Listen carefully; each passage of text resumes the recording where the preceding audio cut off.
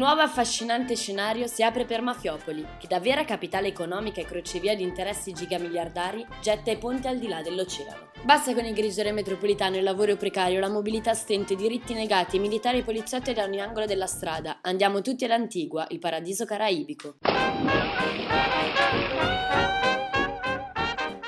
Forse aveva questo in mente la nostra amata sindaca quando ha firmato l'accordo con il governo dell'isola. 140 milioni di euro, ufficiosamente perché i dati veri sono un segreto, per consentire a una folta schiera di milanesi armata di ukulele e collana di fiori di fare bagagli per lasciarsi alle spalle definitivamente la vita di città e dedicarsi alla pesca e allo sport. Nel 2008 è stato siglato un accordo con Antigua per l'urbanizzazione di quel paese. Perché devono pagare i milanesi? Si parla di strutture, anche di ponti aerei, commerciali. Mi chiede cose che non conosco.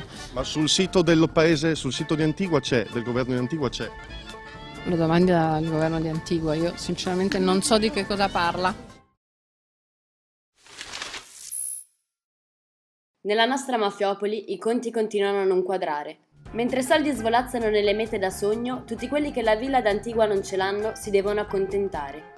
E così i quartieri popolari non cambiano di una virgola, con edifici fatiscenti, nessuna cura dell'ambiente e delle strade e la chiusura dei servizi basilari di tutti gli spazi di socialità.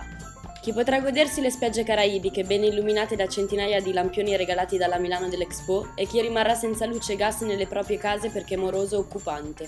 Chi specula sul territorio e sulle vite delle persone, stuprando la terra, sprecando cemento e tenendo sfitte centinaia di palazzine, e chi non riesce a pagare un affitto, figuriamoci un mutuo.